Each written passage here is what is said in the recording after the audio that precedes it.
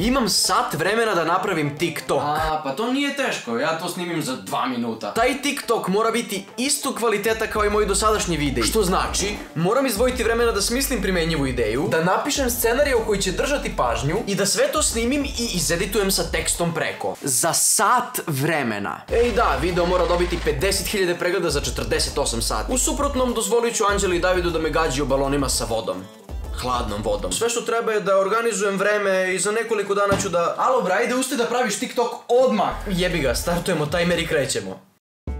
Znate ono kada vam treba kreativna ideja, a pod pritiskom ste? Blokada. Ulazim na TikTok da pokušam da nađem neku viralnu temu. Tražimo nešto vezano za tehnologiju, a što je u trendu. I nakon 7 minuta listanja u beskonačnost, pronašao sam je. Izašao mi ovaj TikToker koji je govorio kako će u budućnosti sve podatke čuvati na DNK lancima. To jest nešto kao DNK memorija. To se savršeno slaže uz sadržaj koji već snimam. Tako da, ideja je tu, ali 7 minuta koje sam potrošio više nisu. 53 minuta do kraja, a već osjećam kako me gađaju balonima.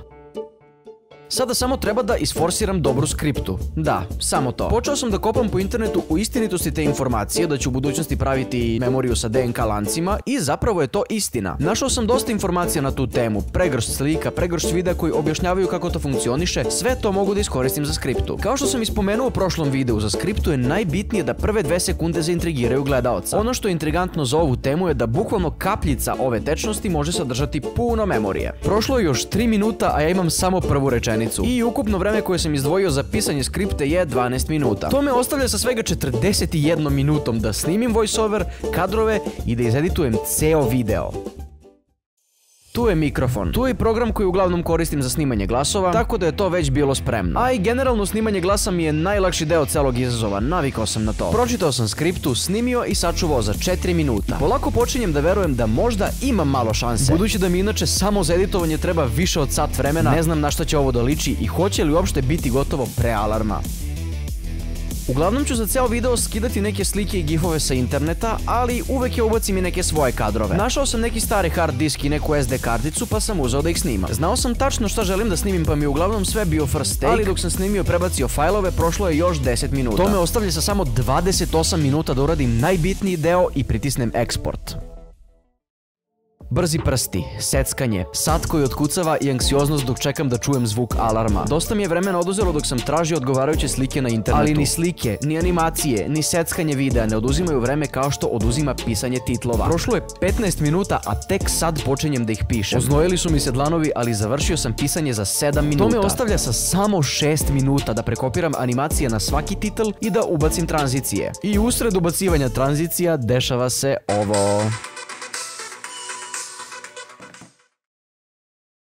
Ne smem više ni da pipnem video, moram da ga eksportujem odmah. Nisam zadovoljan. Na pola videa nisam ni ubacio tranzicije, ali gotovo je. Sad da pogledamo šta sam napravio. Jedna kapljica ove tečnosti sadrži i do 200.000 terabajta slika, filmova, muzike, bilo kakvih podataka. Dobro ste čuli, ovo je tečna DNK memorija koja je napravljena samo u svrhu čuvanja podataka. Istih podataka koje vi čuvate u telefonu i na računaru. Napravljena je da zameni hard diskove u bazama podataka i tako će ceo internet moći da stane u samo 30 litara ove tečnosti. Više prostora će zauzimati oprema za očitavanje podataka, ali se zato troškovi održavanja svode na minimum. Za ovo su korišćeni delovi DNK lanca A, G, C i T, gde je A 00, G 01, C 10 i T 11. Kada kombinujemo te delove u DNK, dobijemo binarne podatke koje očitavaju računari. Jedina mana je što je za kreiranje jednog terabajta DNK tečnosti potrebno do milion dolara, ali se procenjuje da će ta cena u budućnosti pasti na samo 1 dolar. Zamislite da slučajno popijete tečnost sa vašim fotografijama sa letovanja. Ono što će promeniti budućnost čuvanja podataka je ova tečnost.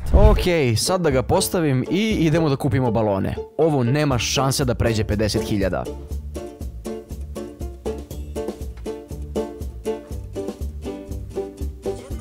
Nakon 3 sata od postavljanja videa, video ima 3000 pregleda, ali ja iskreno paničim jer ne mislim da je to dovoljno. Uglavnom, vidimo se nakon 48 sati kada ćemo saznati da li sam failovao ili sam uspešno uradio ovaj izazov. I nisam se šalio kada sam rekao da ću kupiti balone. Ja stvarno ne verujem da ću uspeti.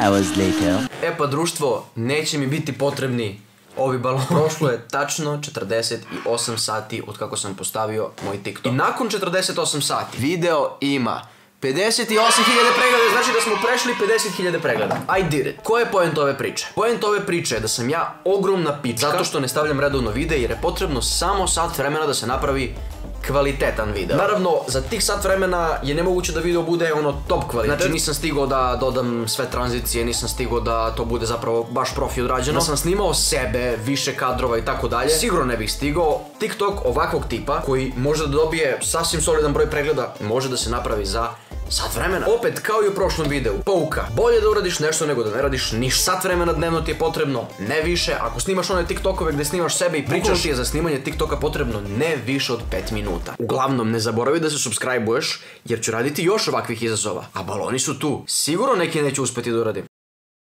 Kako se osjećaš što nećeš imati priliku da me gađaš balonima? Jako, jako loše. A zašto je to tako? Zato što sam jako htjela te gađam balonima. To jest više ja ima, ali kao daj što da.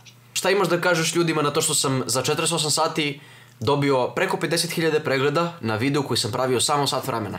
Imam da kažem da sam jako razočarana. Razočarana si što sam napravio uspješan video za samo sat vremena?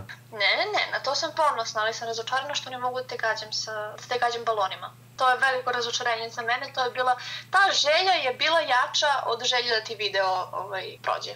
Stvarno? Malo. Ali dobro, ja ću te svakog gađati balonima. Molim? Šta? Šta? Šta? I jaje da stavim unutra. Nema jaje unutra da staviš, ne može. Može, pa što? Nema toga. Samo balon. Hajde, čao. Čekaj, stani. Snima kamera, moram ugasim.